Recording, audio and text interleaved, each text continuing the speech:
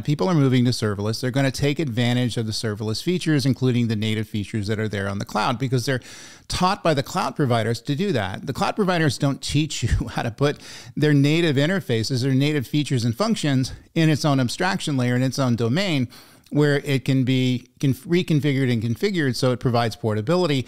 They teach you to leverage as many native functions as you can. And in doing so, there is some advantages to that. You do get some performance advantages from going directly down to the native interfaces. But the trade off is always, like any other applications that run on the cloud, going to be locked into that specific cloud. And if you have to move it to another cloud provider or move it to another platform, that's going to come into money, that's going to come into risk.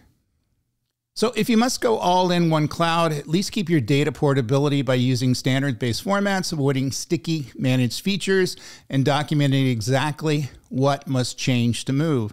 So if our information or our data is going to be port- portable from platform to platform, or even the ability to relocate our data to another platform that may still be leveraged by the serverless system, we have to think much the same way. In other words, if we're going to leverage our information, it has to be behind a single set of common interfaces that we define ourselves that are not specific to the cloud provider. And there's ways you can do it, CLIs, you know, different kinds of interfaces that, that uh, the database providers provide, but contact your database vendor, whether it's a you know cloud service or an on-prem system, and allow them to tell you how best you can make these database calls portable within a serverless environment.